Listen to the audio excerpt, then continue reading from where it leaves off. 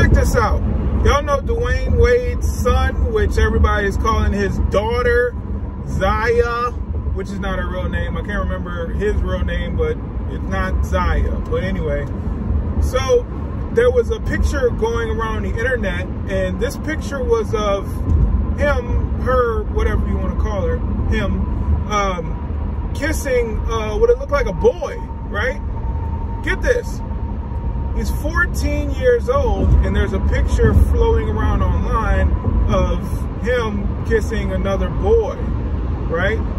And the internet was outraged, said that no 14 year old should be on the internet, should have a picture on the internet of them kissing another child. This is child, you know, the thing I can't say on YouTube. But anyway, so everybody was outraged, and I saw it. I was a little outraged as well. But then I did some research. I wanted to find out who this boy was, right? I went to his Instagram page Come to find out, it's a girl. So, Zaya, who's a male who thinks she's a girl, is dating a girl who thinks she's a boy. I, I'm, I'm sorry. I just I just don't know what's happening to our society. Everything has been twisted and flipped upside down. Like okay, I understand if this boy thinks he's a girl, therefore he's attracted to boys, but you like a boy who's actually really a girl. So basically, you're straight. You, you dress like a girl, you wear dresses, you wear makeup, but you're straight. Okay? See, I'm, I'm just confused. I don't know what the hell is going on, but I don't know. I, I guess it kind of gave me a little hope because he's not gay. So if he's not gay, then maybe he's just going through a phase where he wants to wear girls' clothes. He's confused. He wants to feel accepted. He wants to feel love. So he's doing this to get acceptance, to get some kind of notoriety because maybe he doesn't feel confident in himself as a male, so he dresses like a female, gets all this praise, gets this this admiration from the left. So he continues to do this, but he's not gay. He's not gay. Okay, I, I can deal with that. Hopefully he'll snap out of it, but you just never know with these kids that have been indoctrinated by parents who, who want to show off their their transgender kid or their their homosexual kid because it makes them feel good. These parents are freaking sick, okay? Parents are absolutely insane. They're sick. All they want is attention for themselves, so they're using their own children to get that attention. I've seen countless videos of parents on TikTok. Yeah, this TikTok is like the cesspool of liberal parents trying to indoctrinate their own children. But anyway, I've seen countless videos and the parents are, are talking about, look at my trans kid, my, look at my gay baby. There's no such thing, okay? There's no such thing. You lead your children down that path to becoming homosexual. You lead your children down that path to become transgender, pansexual, non-binary, all that crap.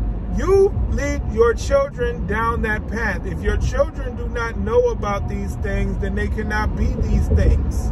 Okay? So check yourself, okay?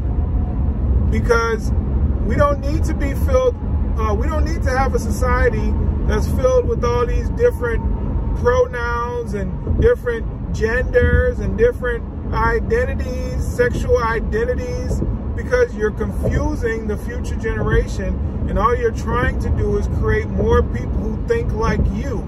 And that's very, very unfortunate because kids should be able to think how they want to think. Kids should be able to think how biology tells them to think. Biology tells little boys to be attracted to little girls. Biology tells little girls to be attracted to little boys. That's how it works. That's how our society functions.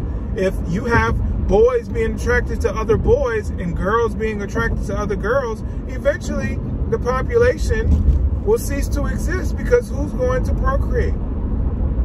Not everybody can afford um, the, these medical things that allow people who aren't supposed to have children to have children. Not everybody can afford that.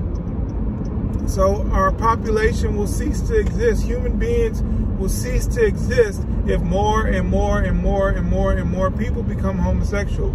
So that tells you right there that it's not right. It's not right for people to be doing that. And I get it if you can't help that, whatever, but you know it's not right. You know we cannot function in a society that's filled with nothing but homosexuals.